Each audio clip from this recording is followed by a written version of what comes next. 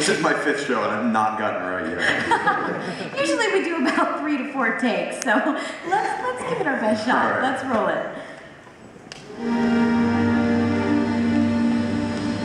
I hope this assignment wasn't too boring for you. Eh, it had its moments. Oh, like the one where you convinced untrained children to help you overthrow a certain government? Uh, government?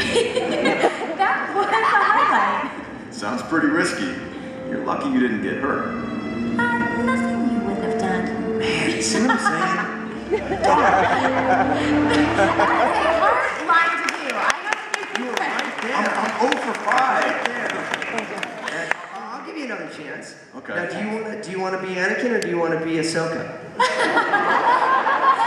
See, see, now let me You know- explain because what, why I said James will join us in a minute because in between takes, you know, Dave has to give notes and everything to the technician, and we have to sit in the studio by ourselves waiting till Dave is done.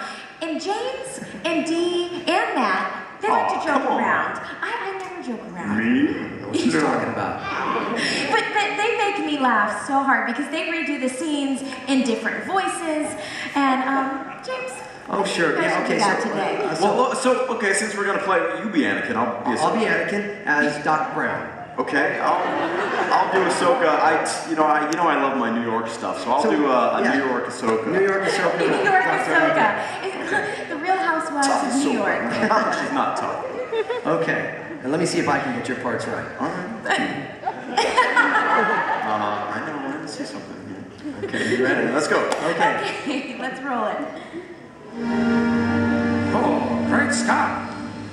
I hope this assignment wasn't too boring for you, Marty. Ah, you know, I mean, you know, it had its moments, I guess. Ah, like the one where you convinced untrained children to overthrow a corrupt government? Yeah, you know, that, that was a highlight, uh, I guess. Sounds pretty risky. Uh, you should go 88 miles per hour next time.